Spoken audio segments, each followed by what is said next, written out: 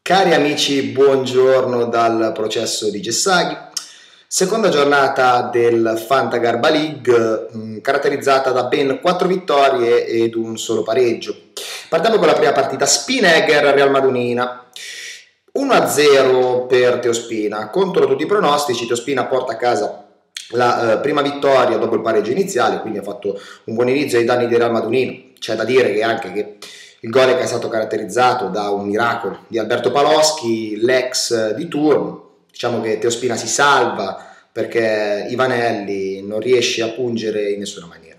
Seconda partita vedeva davanti Gava Team contro Real Purpetta. Anche qui eh, vittoria di misura ad opera di mm, Giovanni Spina. Eh, basta solo Maxi Lopez per eh, dare il colpo secco al binomio Festa Siriani.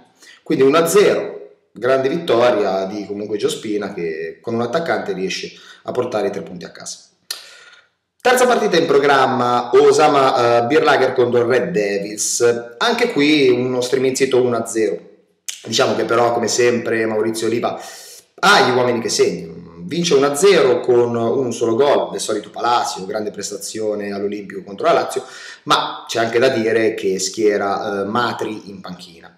D'altra parte eh, Red Davis non aveva una brutta formazione, troviamo tanti buoni voti ma il 4 di Pato condanna gravemente la formazione del prestigiatore di Via Principessa Maffalda. Ultima vittoria della giornata, eh, Mollami contro Ciolo Team 3 a 1. Qui abbiamo la grande prestazione di Cavani che sconfigge letteralmente gli eh, 11 di eh, Alessandro Cortinovis. Ciao Team arriva comunque a fare un gol nonostante non ne abbia fatti nessuno, quindi 3-1 il risultato finale. L'unico pareggio della giornata è diciamo, la partita più strana fra eh, Porceddu e SMR City.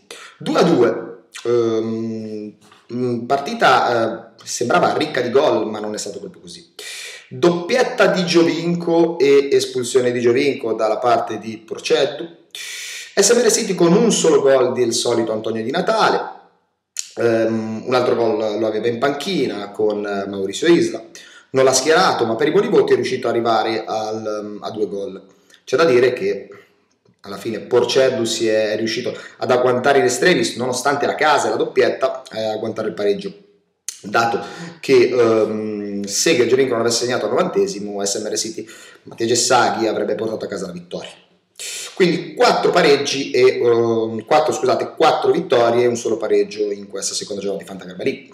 Arriviamo alla consuetudine uh, rubrica, la parte di questa rubrica che assegna l'Oscar e il bidone. Oggi l'Oscar della giornata va a Dennis Chiarello, mollami, perché mentre il Ciolo pronunciava le parole a lei e Iacta Est, il dado è tratto, proprio in quel momento Chiarello tirava fuori la spada e lo faceva fuori. Tripletta di Cavani in pochi minuti, affonda la spada Chiarello, grande vittoria, il Cobra di Viavalli, l'avevamo detto in precedenza, è forte, quest'anno è forte, riesce a ribaltare anche il risultato in eh, men che si dica. Il pippero della settimana, questa volta aspetta a Real Purpetta, il binomio Sirianni-Roberto Festa. Perché questo? diciamo che comunque hanno perso sì 1-0, ma è gravissimo, troppo grave lasciare Tiago Ribeiro in panca, quindi un gol fuori in panchina, e anche Kuczka schierato in tribuna che ha segnato. Non era così tanto difficile pareggiare questa partita. Il Pippero va loro. Situazione generale, vede così al comando Sama Birlacher, l'avevamo detto, anche Maurizio Oliva, in grande spolvero, vuole vincere, non ha mai vinto un Fanta Garba League, 6 punti poi abbiamo Spinagher e Molla a 4 punti, Ciolo Team, Gava Team, Red Davis a 3 punti. Porceddo e Salme City, la Pulpetta e la Madunina, un punto. Quindi una sola squadra a comando e tutti gli altri che inseguono.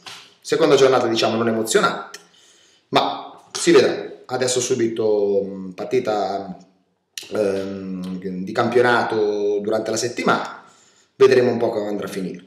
Dal processo è tutto, il buon Gessaghi vi saluta, alla prossima giornata perché noi tutti, we have a dream, Fanta Garba League.